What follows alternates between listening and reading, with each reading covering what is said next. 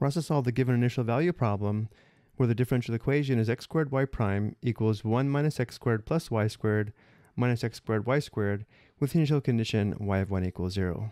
It doesn't look like it, but we can actually solve this differential equation using the technique of separation of variables. Meaning we can write the given equation in the form of dy dx equals f of x times g of y, where the right side we have a function of x times a function of y. Looking at the differential equation, notice how we have x squared on the left, and we have a sum of four terms involving x and y on the right. So it doesn't appear as if we could write the differential equation in the form needed, but we actually can if we factor the right side of the equation.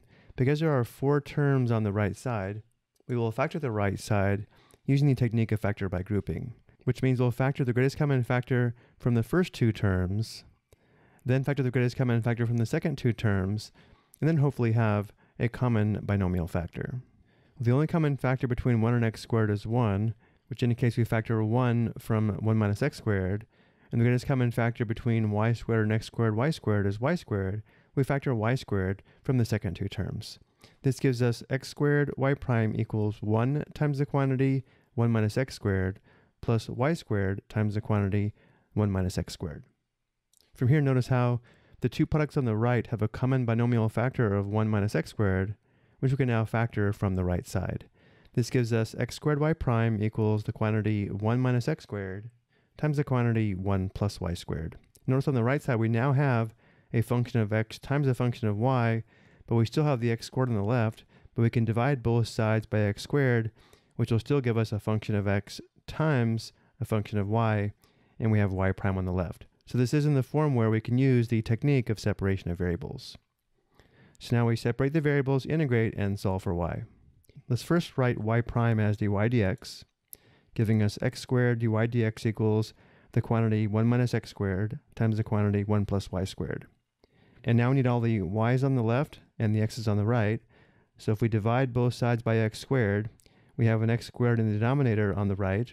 If we divide both sides by the quantity 1 plus y squared, we have the quantity 1 plus y squared in the denominator on the left. Then we write the differential equation in differential form, or we can think of multiplying both sides of the equation by dx, which gives us dy divided by the quantity 1 plus y squared equals the quantity 1 minus x squared divided by x squared dx. Before we integrate both sides, though, let's simplify the quantity 1 minus x squared divided by x squared. This gives us 1 divided by x squared minus x squared divided by x squared, which simplifies to 1. So we have dy divided by the quantity 1 plus y squared equals the quantity 1 divided by x squared minus 1 times dx. And now we integrate both sides of the equation. Let's also write 1 divided by x squared as x to the power of negative 2. Integrating on the left, the antiderivative of 1 divided by the quantity 1 plus y squared with respect to y is equal to arctangent y plus a constant. We'll include the constant on the right. On the right, the antiderivative of x to the power of negative 2 minus 1 with respect to x is equal to x to the power of negative 1 divided by negative 1, or negative 1 divided by x minus x plus a constant. Now that we have the general solution, we can determine the particular solution using the initial condition y of 1 equals 0. We substitute 1 for x and 0 for y, and then solve for c.